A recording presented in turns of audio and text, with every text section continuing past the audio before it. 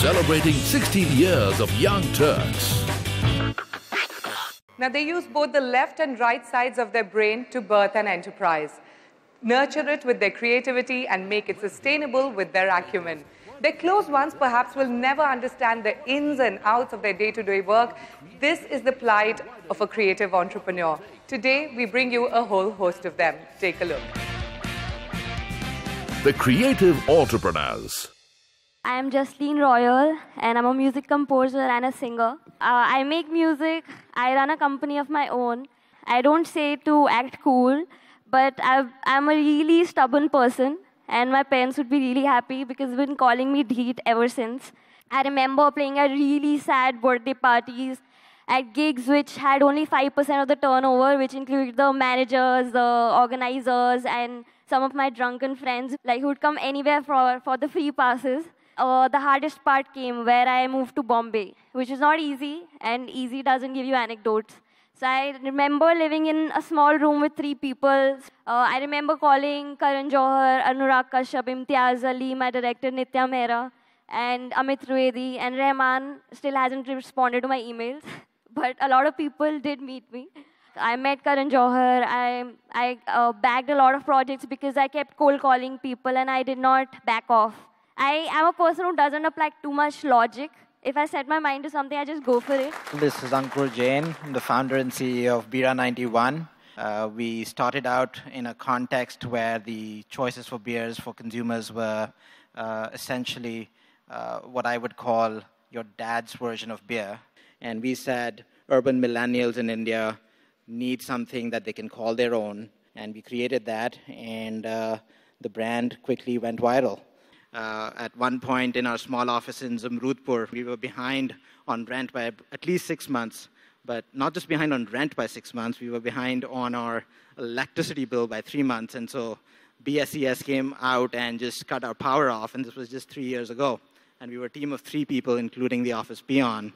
Uh, but we decided to not call it quits. And now we're a team of 300, uh, roaring team of 300, growing.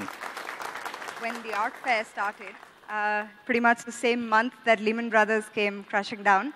Um, but if, if, it wasn't for blissful oblivion and a bit of passion, um, maybe it wouldn't, have, it wouldn't have started off.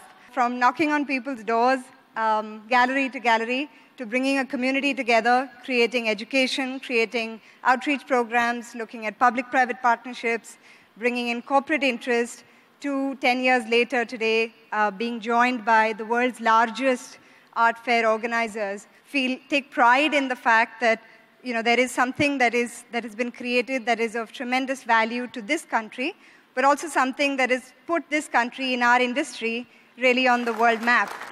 Uh, my name is Vijay Nair. I'm a CEO of a company called OML. Uh, we largely dabble in the entertainment business. So I would say the first time probably I wanted to call it quits was right in between a concert when me and our co-founders were kind of lathi charged by a bunch of police officers because we asked them to stop selling tickets to our concerts in black. The second time I would have wanted to call it quits was again kind of um, an inspector kind of coming right outside a concert and holding a gun to my head to let their friends and family inside to concert free. We took years to kind of convince possibly the world's most popular comedian, Jerry Seinfeld, to come to India. Uh, a day before the concert, um, the license for the venue was cancelled because one officer decided that there was not enough parking in the venue, in the only venue in Bombay that actually has parking built inside it. Um, on the bright side, I got to stay at the fanciest presidential suite in the fanciest hotel because the hotel refused to refund the money. A couple of months ago, while trying to pull off a really large event, um, I recall wanting to really quit when the morning before a really big investment, big concert for us, the chief minister of the state called me personally to, sit, uh, to make me sit down and tell me that his spiritual advisor had a dream the night before that the concert was going to bid, uh, bring bad luck to the state. So he had to rethink our license. Uh, so why would you ever quit the entertainment uh, business when the business of entertainment itself is this entertaining? Now, um, a lot of other entrepreneurs, they judge that their success has been judged by the amount of money they raise, um, by actually having other people invest in their dream.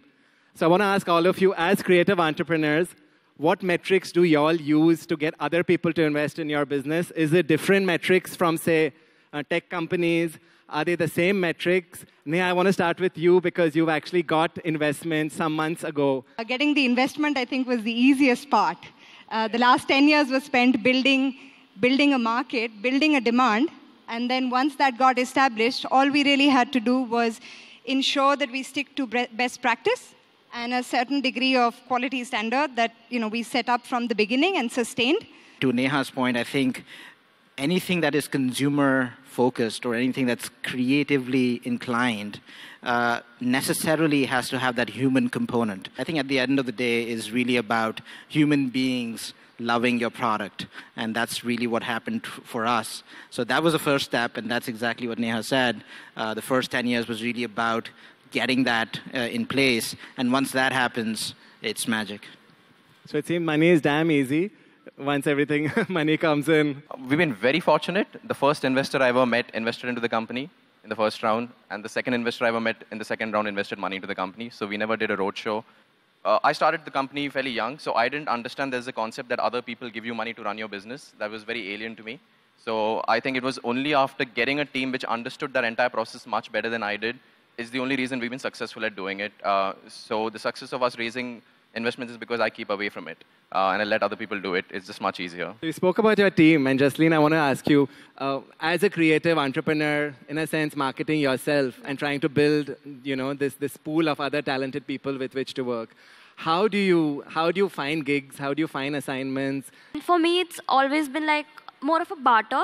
There've been people who've been who've, who've given me gear to make, make better music or there are managers who just uh, get you on for a tour and they give you a signing amount. And uh, you know social media has been a lot of of a lot of help. Like you put it out on youtube facebook and you promote it market it out there. If the work is good then it finds its own audience i believe it yeah. might be slow, but that's the way to go about it. Where do you find people to work in these creative industries? I, you know, engineering has a talent pipeline. They'll go to engineering school. They'll become IT engineers. We have it in banking. We have it in medicine. Do we have a talent pipeline in the creative industries? Well, for me, I'm an engineer.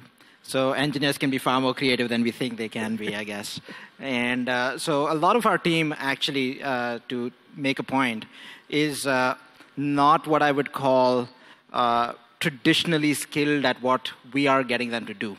So it's, it's really finding great talent, not great talent, I would say open minds that are willing to learn. I know you dropped out of college to start your business, so where do you look at for your pipeline? Probably the only smart thing I did.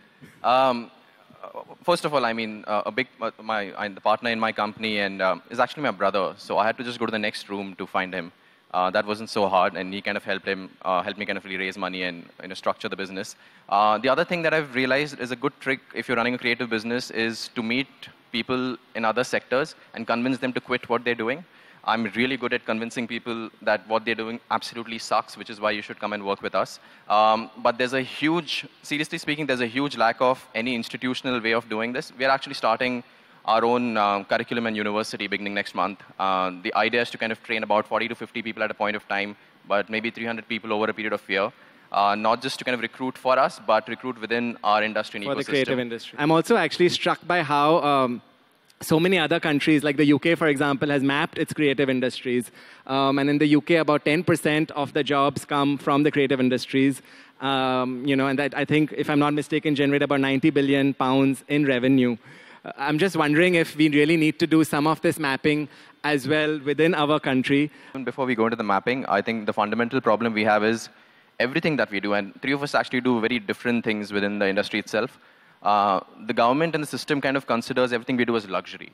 And that's what really makes it so hard. And I think, you know, in the recent terms, in terms of um, bearing the brunt of that in terms of uh, when GST kind of rolled out is all of us are at 28%, right? We're in the highest percentage part of it. And that becomes when you kind of treat an entire industry which is as large as the creative industry like that, there is absolutely no way for the industry to scale up. I think the government is anti-fun. You know, this is such a new industry. So we have to look at it in a, in a framework that there are no policies, it isn't defined, it doesn't have mainstream representation in corporate forums, in government policy matters. So it is a matter of time. But the good news is that a bulk of the opportunity is ahead of us. Jasleen as an individual? Definitely, there's this dearth, dearth of infrastructure. There's no grooming. There's no sh- showcasing and proper like proper way of doing it. And like um, it's mostly crisis management rather than you know like doing things properly. Given all these challenges, um, you know, funding, regulation, all of this, what keeps you so involved? Just for my love for music and beer. For me, it's easy. I'm in the beer business. How hard can it be? I'm, I'm in the concert business, so I'm in the business of getting other people to drink beer. And Neha, you get people to buy art after they've drunk beer. So you just you have a dream and you just hold on really, really tight, right? Um, I think all of us have somehow, either we have invented the jobs that we're doing at this point of time, or we have somehow kind of uh, found a way where what we love is exactly the work that we're doing right now. So once you're kind of in that place, it will take a lot to make you quit. I mean, everything that can go wrong has gone wrong. You know, it can't happen. But so I think you need entrepreneurship skills and a you know great sense of dark humor, and that uh, that can kind of help you sustain in this country as a creative entrepreneur. Thank you all. You can clap now. I would like to thank our sponsors. Seventh Young Turks Conclave is powered by Sathyabama University, driven by Ford Mustang, 12th partner Ask Group, luxury partner Rado, hospitality partner Andaz Delhi, India's first luxury lifestyle hotel, and celebration partner Bira 91. being educated, the moment you got certificates from university, you stop learning. But I am aware I am uneducated. That's why I'm learning, learning, learning every moment till my death. Celebrating 16 years of Young Turks.